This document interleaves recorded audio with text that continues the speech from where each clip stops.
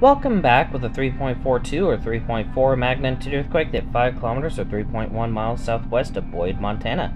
Happened at 2:57 p.m. Central Daylight Time and the depth of 7.82 kilometers. If you happen to have felt the earthquake, let me know in the comment section below and from where. And I know it's been like nearly over an hour, but I just now just alerted on this earthquake. Um, so I guess it took them an hour to figure out what it was.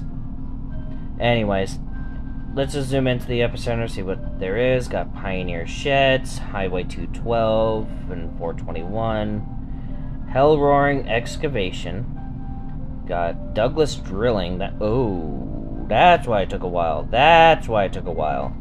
Rock Creek Contracting. Not like we already have active faults in the area, but we also got drilling going on. That is definitely going to be an interesting thing. I'm pretty sure it's not related to oil, but still drilling of some kind. Um, got Blanchard Butte Road, got some homes, got some farmland.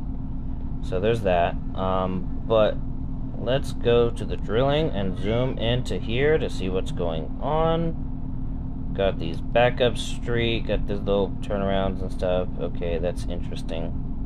Um, so that probably just gave me a bad image on it, but actually not really anything. It just it looked bad at first. Like okay, they're probably fracking, and nope, nope, that doesn't seem to be the case at this time. Um, but yeah, just definitely threw me off.